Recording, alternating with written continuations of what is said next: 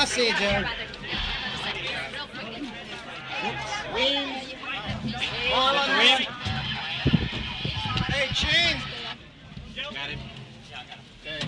Hey.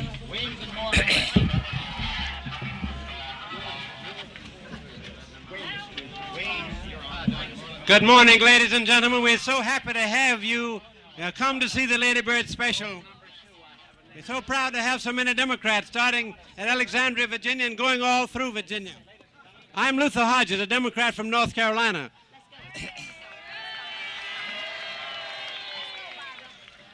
We're so happy to be here in Ashland. I want to present the Democratic County Chairman here, Mr. G.M. Weems, for a presentation. Secretary Hodges, uh, Mrs. Johnson, ladies and gentlemen. Mrs. Lyndon Johnson, the people of Hanover County and the town of Ashland are very much honored in that one of your first stops is being made here at the same place where Presidents Taft, Wilson, and Roosevelt also stopped. Your friends of Hanover County and Ashland present to you a gavel made of boxwood, which grew for years in the garden of Scotchtown, once the home of Dolley Madison and Patrick Henry. We extend to you and Mr. Lyndon B. Johnson our best wishes that this gavel will symbolize a triumphant trip for you through the South.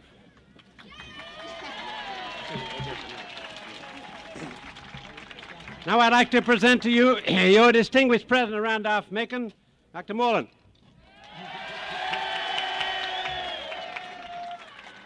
Mrs. Johnson, it is with a sense of privilege and pleasure that we welcome you to Randolph-Macon College now in its 135th year. We recognize that as you preside so gracefully over the White House, you're making enormous contributions to our nation's life. A happy journey through the South and great happiness through all the years ahead. Ladies and gentlemen, Mrs. Johnson.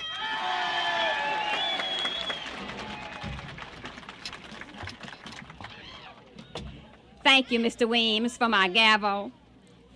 Thank you, Dr. Moreland. And also, we have one of your alumni here, Congressman Porter Hardy, who graduated from Randolph Macon.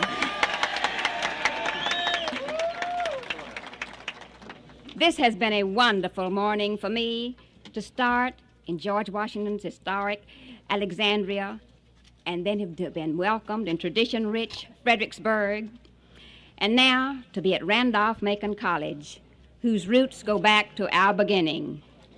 In fact, I feel pretty much at home because some of my closest relatives are students. I think you students are lucky young men. I wish I were your age because I want to see the 1960s settle into the focus of history. I believe we are standing right on the verge of a period in man's history unsurpassed since the Renaissance as a potential for good, and also, desperately enough, a potential for destruction. It is your great challenge and opportunity to participate in it, and I hope that a part of that participation will be an involvement in the affairs of your community and your country. Never stand on the sidelines. When I look at the hundreds of students like this, I like to recall the words of Virginia's own Thomas Jefferson. I like the dreams of the future better than the history of the past. Many thanks to all of you for coming out this early in the morning and making it such a special stop. I want you, I want you to know my daughter Lynda Bird.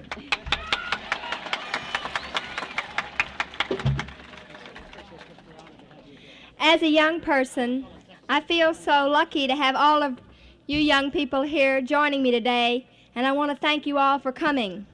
This is our generation, the volunteer generation. We have 10,000 Peace Corps volunteers all over the world working. We have about 8,000 people who came to Washington this summer to work in various capacities of government. I hope that all of y'all will volunteer to work for our campaign this fall and the election of all these good Democrats we have with us. Over half, Over half the people in the world are under 25. And that means y'all. Thank you all for coming.